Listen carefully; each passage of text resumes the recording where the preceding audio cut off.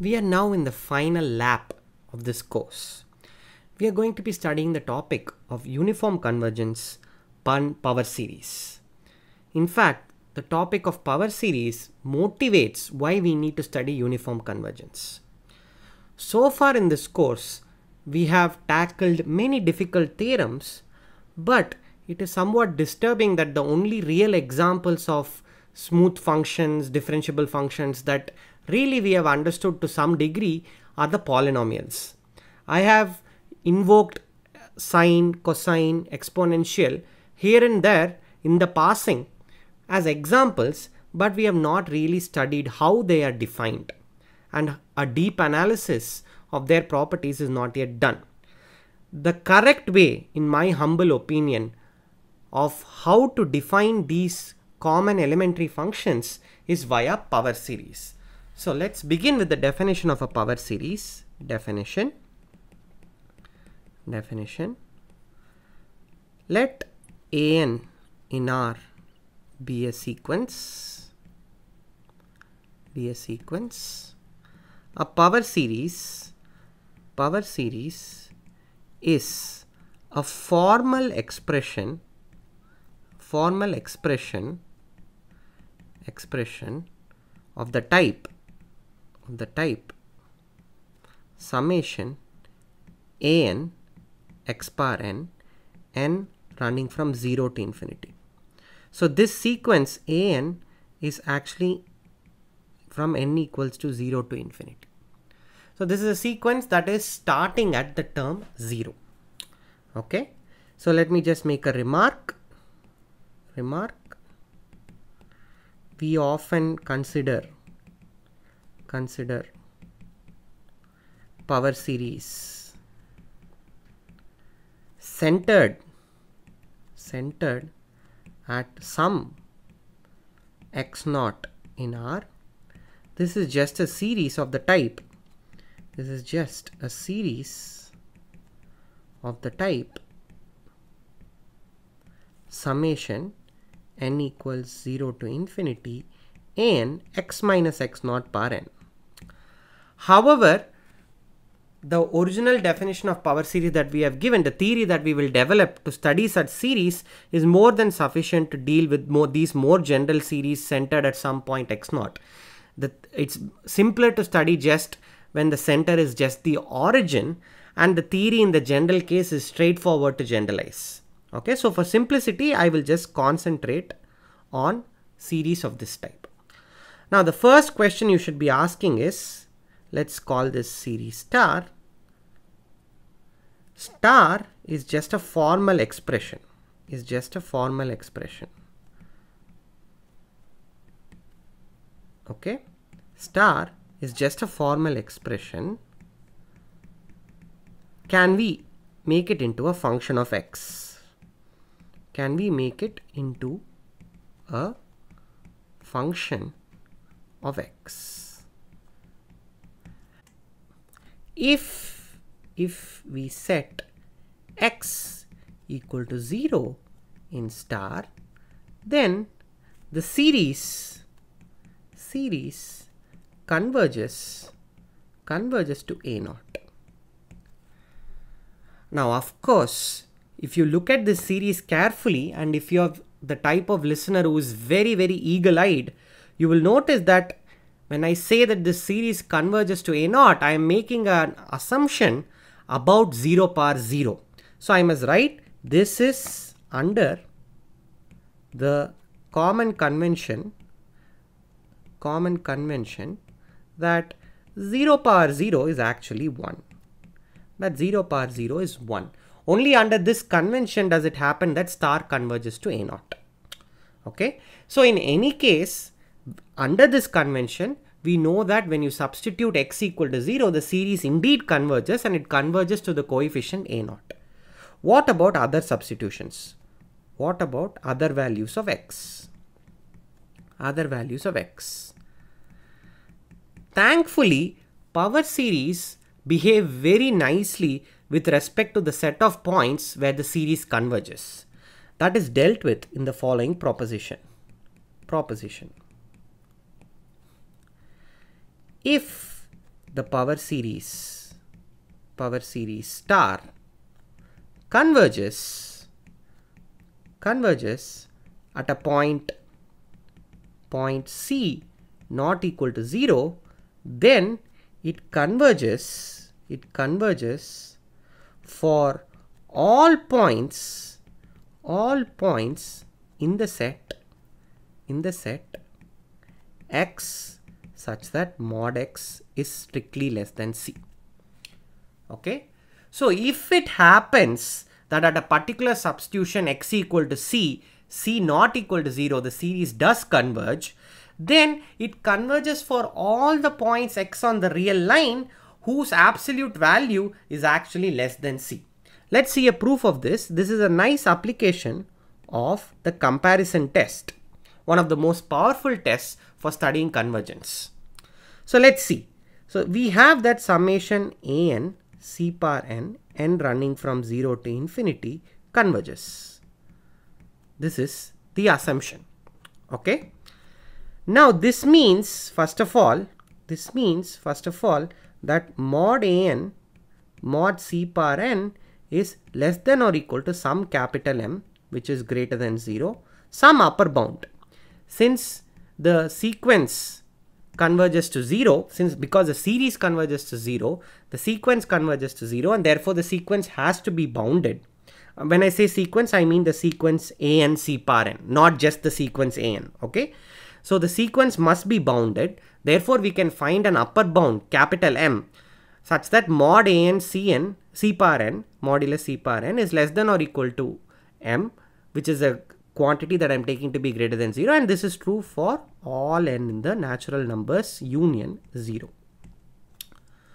Okay, how does this help us? Well, suppose, suppose, suppose we take, we take x in R such that mod x is less than c. Okay. Suppose we take a point c where uh, we take a point x in R whose absolute value is less than c. Now note that note that mod an mod x bar n is in fact equal to mod an mod c bar n into mod x bar n by mod c bar n okay i've just added and uh, not added multiplied and divided by mod c power n. And by our assumption that mod a and mod c power n is less than or equal to capital m we get less than or equal to m times mod x by mod c the whole power n. Okay? But observe observe again that again that mod x by mod c is strictly less than 1 is strictly less than 1 so by comparison test by comparison test test the series the series summation n equal to 0 to infinity an x bar n converges absolutely. Converges absolutely. So we got a stronger conclusion we got a stronger conclusion than claimed. So we can fix this claim converges absolutely for all points. Absolutely for all points in the set in the set mod x such that mod x is less than c. So what we have shown is if the power series converges at some non-zero point on the real line, then in fact it converges in the interval, open interval minus CC. Okay. So this prompts the following definition. This prompts the following definition. This prompts the following definition. Let summation n equals 0 to infinity a n x bar n be a power series be a power series we set we set r which is called the radius of convergence radius of convergence to be by definition equal to the supremum the supremum of mod c such that summation n equals 0 to infinity a n c power n converges. This is c. c power n converges. So, converges. Okay. So, it is you take look at all the points where the series a and c power n converges and take the supremum. Note, note that, so let me write it as a remark, remark, note that, note that r could be either 0 either 0 or plus infinity. Both, both possibilities can happen. Okay. Now I'm going to leave you with a very simple exercise. Very simple exercise. Show that, show that if x in r is such that mod x is strictly less than r, then, then summation n equal to 0 to infinity an x power n converges absolutely. This is a very, very simple exercise. It follows immediately from the definition of this radius of convergence and the fact that whenever you have a point of convergence, then for all points whose modulus, whose absolute value is less than this given um, um, then mod c, then the series converges. Essentially, the previous proposition plus the definition of radius of convergence will immediately deliver the proof. Okay, so where does this leave us? Suppose we have a series star, we have the power series star. let me just write it out in full. Suppose we have the power series summation an x power n, n equals 0 to infinity. We get a function, we get a real valued function real valued function function f of x which is defined to be sum of summation n equals 0 to infinity a n x power n defined on defined on minus r r where r is the radius of convergence where r is the radius of convergence okay? So we end up with a function f from minus r r to the real numbers. Now the 1 crore question or the million dollar question is the following. What about what are the analytic properties analytic properties of f? By analytic properties of f i mean things that we have studied in analysis. For instance, is f continuous? Is f continuous? Okay. Is f differentiable? Is f differentiable? Okay. What is the derivative of f? If at all f is differentiable, what is the derivative of f? What is the derivative of f? Okay. So we have these following natural questions and let me just leave you with an intriguing puzzle which is sort of a partial answer to the last question without proof of course. It looks like summation, the derivative, the derivative df by dx would be nothing but summation n a n x bar n minus 1 n running from n running from 1 to infinity. Okay. This is something that is natural to expect when you look at the power series summation n equal to 0 to infinity a n x power n. Why is it natural? Because observe, observe that any polynomial, any polynomial p of x which is actually given by summation. K equals 0 to n. A n x power n is a power series. Is a power series. Right? It's in fact a very nice power series. It's not an infinite power series. It's just a power series that terminates after a point. Note that in our definition of power series, we did not require all the coefficients to be non-zero or any such condition. ANs could be anything. So it just so happens that a polynomial is a special type of power series, a power series in which all but finitely many coefficients are zero. Okay. And for polynomials, we have this result that when you differentiate the monomial x bar n, you get nx bar n minus 1. Therefore, this formula's double star is certainly true for polynomials. It's certainly true for polynomials. So you would expect this to be true for the power series also. In short, what all this motivates is, what all this motivates is, what sort of properties, what sort of properties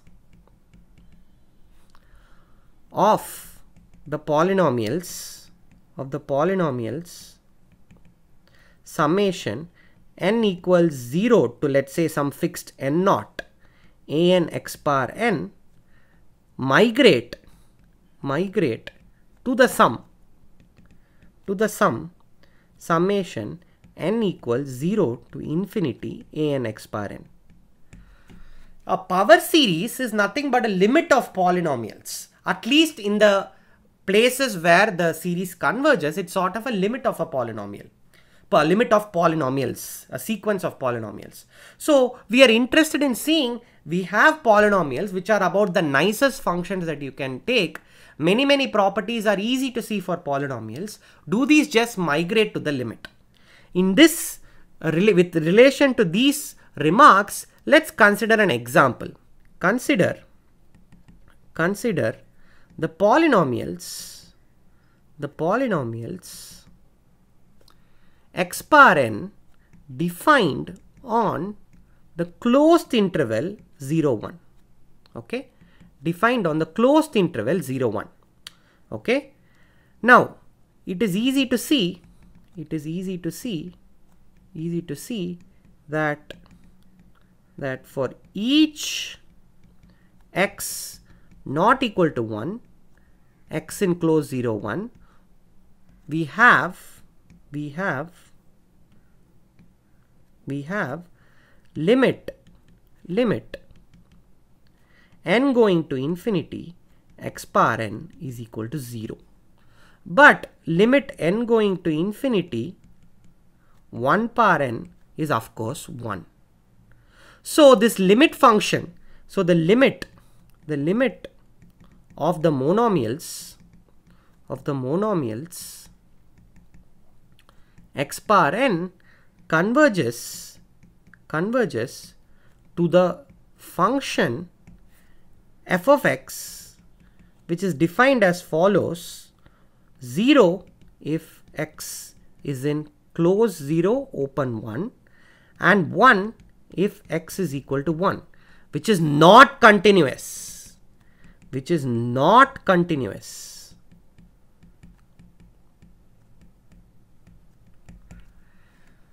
So the limit of the very simple monomials themselves need not be a continuous function. So something weird is happening even when you take limits of very, very simple polynomials. Now the question is, can we put some hypothesis to ensure that the limit is continuous? And that is the next and the final major topic of this course, uniform convergence. This is a course on real analysis and you have just watched the module on power series.